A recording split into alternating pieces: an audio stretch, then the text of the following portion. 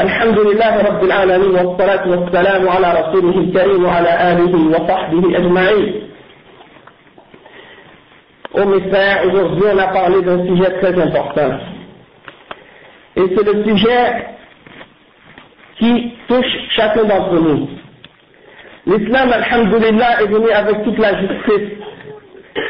Depuis 1400 ans, on n'a pas eu besoin d'attendre que les kuffars se réunissent pour écrire une charte pour établir que les êtres humains sont égaux entre eux. Alhamdulillah, la charia d'Allah est venue et a établi les règles de la justice pour tous les êtres humains. Et Allah subhanahu wa ta'ala, il dit, ô vous les hommes, nous vous avons créé d'un mâle et d'une femelle et nous vous avons divisé en peuples et en tribus pour que vous vous connaissiez les uns les autres. Et le plus noble d'entre vous est le plus pieux, celui qui a le plus de taqwa. At-taqwa c'est quoi? C'est de faire ce que Allah t'ordonne et de s'éloigner de ce que Allah subhanahu wa ta'ala t'interdit.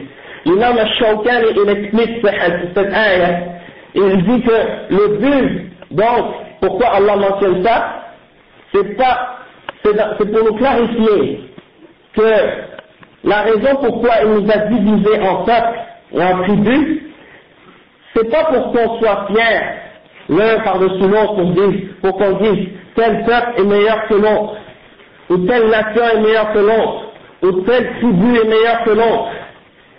C'est pas pour la fierté et l'orgueil et l'honneur.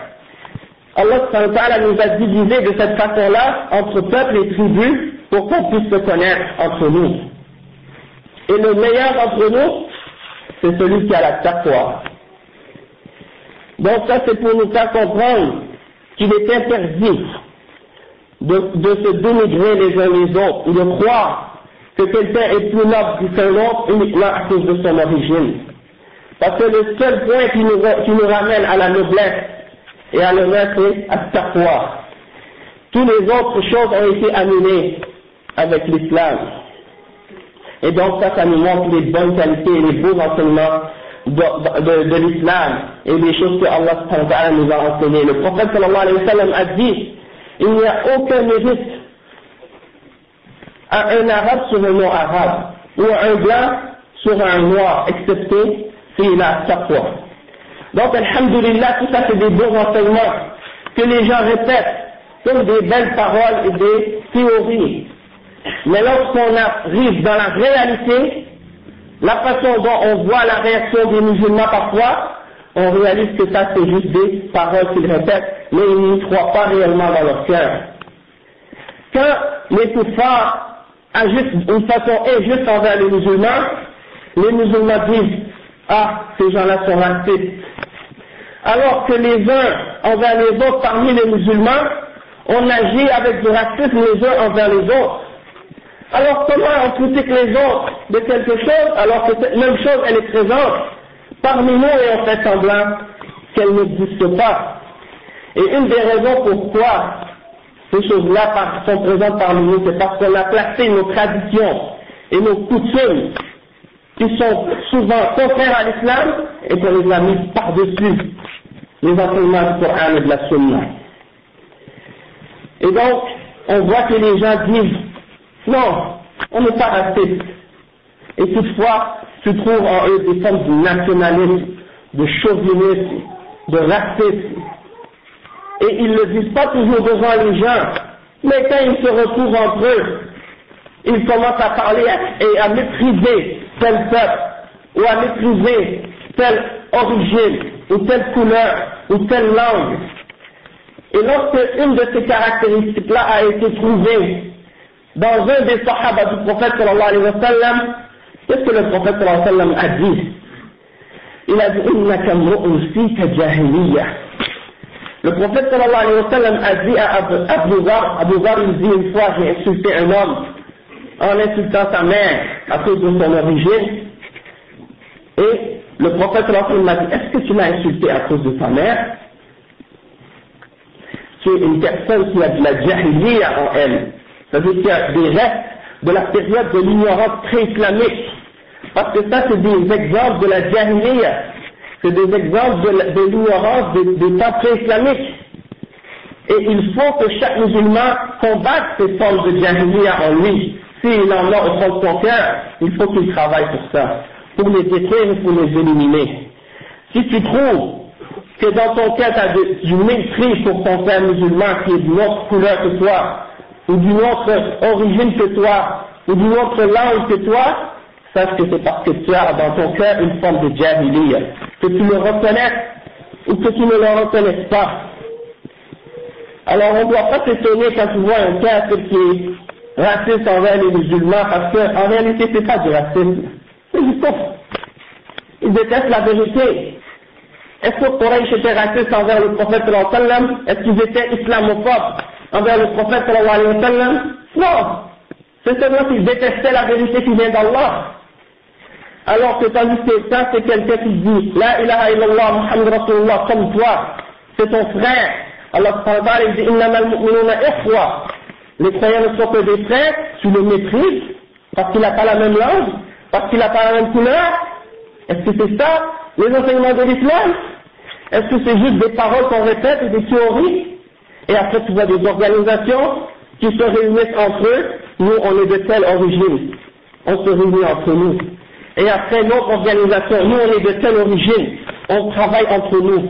On ne veut pas se mélanger avec les autres musulmans qui sont de d'autres origines.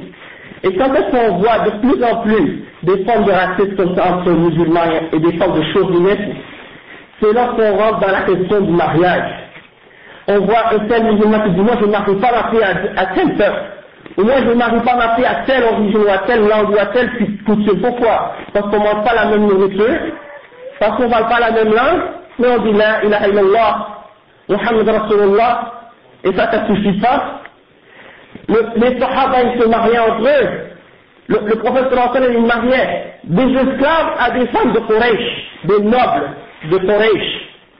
Hein? Abdurrahman ibn Auf, un des, des plus nobles parmi les, les gens de Quraysh, il a donné sa propre sœur à Bilal ibn Rabah, qui est un Éthiopien, un noir.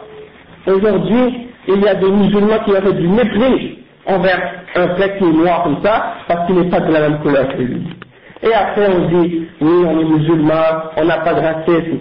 Et quand tu regardes dans la société, dans les pays musulmans, comment certains regardent des noirs, comme si c'est des êtres inférieurs, comme si c'est des gens qui sont plus bas que les autres, alors que ce sont des musulmans, et s'ils ont des défauts, et s'ils ont des qualités qui ne sont pas encore compatibles avec l'islam, pourquoi vous n'allez pas leur enseigner les bonnes valeurs et les bonnes règles de l'islam? Si vous voyez dans vos frères des, choses incorrectes, donnez-leur le donnez-leur le bon conseil, au lieu de les mépriser et de les rabaisser parce qu'ils ne sont pas de la même origine ou de la même couleur que vous. Donc nous, alhamdulillah, on doit admettre le problème pour pouvoir le guérir. Hein, comme on dit, pour la meilleure façon de se guérir, c'est de reconnaître qu'on est malade. Le prophète sallallahu alayhi wa sallam, il nous a enseigné que le musulman est le frère du musulman et qu'il ne le méprise pas. Et le prophète sallallahu alayhi wa sallam a dit que celui qui appelle à la fête de la jahiliya, hein, à la fierté en parlant sur l'origine, il, il réunit les gens là-dessus, et eh bien il ne fait pas partie de nous. Et il a dit que les gens sont comme des métaux précieux. Le meilleur d'entre eux dans la, c'est le meilleur d'entre eux dans l'islam, s'il apprend et il comprend comme il faut sa religion. Et Allah il a dit que nos différences de langue et de couleur, ça fait partie de ces signes.